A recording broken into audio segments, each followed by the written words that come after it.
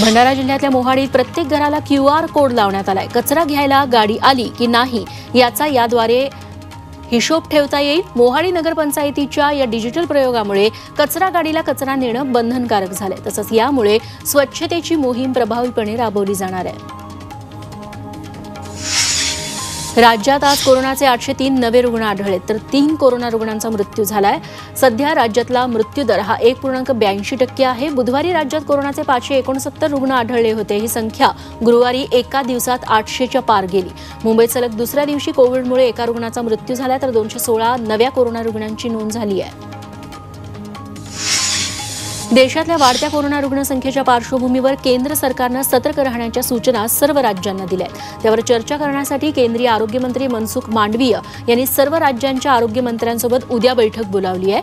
गेल्या दोन दिवसात कोरोनाच्या नवीन रुग्णांमध्ये सुमारे ऐंशी टक्क्यांनी वाढ झाली आहे.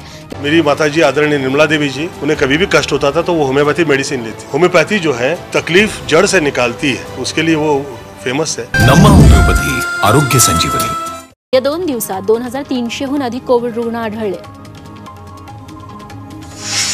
सातारा महाबळेश्वर पाचगणी भागात मुसळधार अवकाळी पाऊस झाला. दुपारनंतर या भागात पावसाच्या सरी बरसल्या.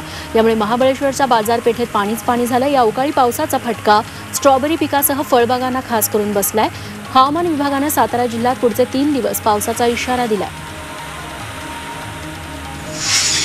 उत्तर महाराष्ट्रात नाशिकमधल्या सटाणा तालुक्याला अवकाळी पावसाचा तडाखा बसला. आखतवाडे बिजोटे भडाणे परिसरात विजांचा कडकडाट आणि वादळी वाऱ्यासह जोरदार पाऊस झाला. यामुळे शेतकऱ्यांची धावपळ झाली. शेतात काढून ठेवलेल्या उन्हाळी कांद्यासह काढणीला आलेल्या कांद्याचं मोठं नुकसान झालंय. तर आंबा भाजीपाला आणि फळबागांनाही याचा फटका बसलाय. ठाण्यातल्या ठाकरे गटाच्या रोशनी शिंदे मारहाण प्रकरणी ठाणे पोलीस आणि महिला आयोग आमने सामने आले. पोलिसांनी या प्रकरणी दिलेल्या अहवालावर महिला आयोगाचं समाधान झालेलं नाही. या अहवालात काही त्रुटी आढळल्यानं पुन्हा चार दिवसात नवा अहवाल सादर करण्याची सूचना महिला आयोगानं केली आहे. शिंदे गटाच्या खासदार भावना गवळी यांनी केंद्रीय गृहमंत्री अमित शहांची भेट घेतली. रोशनी शिंदे मारहाण प्रकरणी त्यांनी शहांची भेट घेतली. रोशनी शिंदेना मारहाण झाली नसल्याचा दावा त्यांनी केला आणि याबद्दलचं निवेदन त्यांनी अमित शहांना दिलं. केरळात काँग्रेसला आणखी एक धक्का बसलाय. ज्येष्ठ काँग्रेस नेते आणि माजी केंद्रीय मंत्री ए के अँटनी यांच्या मुलानं भाजपत प्रवेश केलाय. भाजप वर्धापन दिन मुहूर्तावर अनिल अँटनी भाजपत दाखल झाले. केंद्रीय व्यापार वाणिज्य मंत्री पियुष गोयल यांच्या उपस्थितीमध्ये त्यांनी पक्षप्रवेश केला.